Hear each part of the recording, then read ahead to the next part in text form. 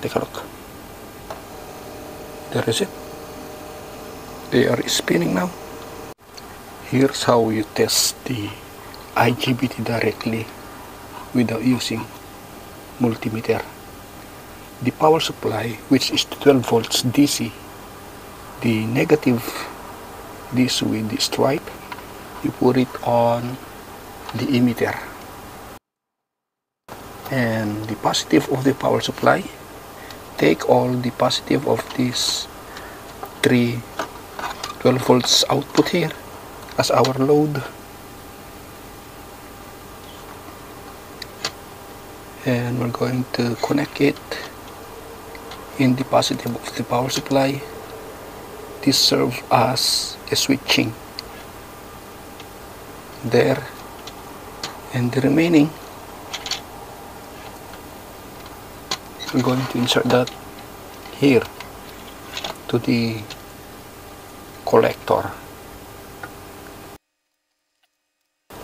And take a look with the three output load for this for this IGBT kinunik ko lang yung power supply na negative dito sa kanyang emitter. At sa collector naman niya is yung ah, load nitong tatlong fan natin. At yung positive nito nandito naman. So i-on natin. Tingnan nyo kung ano mangyayari ha? Power on. And then then ang IGBT is triggered by voltage. Once I'm going to hold the gate in the collector this three fan load will spin. There is it. They are spinning now. And then once I'm going to tap the gate and the emitter these three loads here will stop. Mamamatay itong tatlo na to. Yun ha? Ibig sabihin okay itong ating IGBT next punta tayo dito sa bud na IGBT once again yung negative ng power supply dito sa kanyang emitter. Yan. And then lipat lang natin tong just remove the load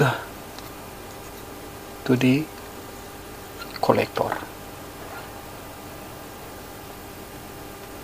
In this video you're going to learn how to test IGBT without using multimeter and take a look guys. I'm going to turn the power supply on.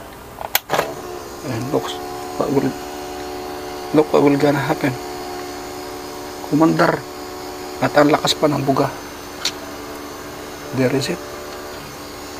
Let's try to turn it off by pressing the gate and the emitter it doesn't it doesn't turn off. Meaning to say this IGBT is shorted. So we use this IGBT as a switching. Thanks for watching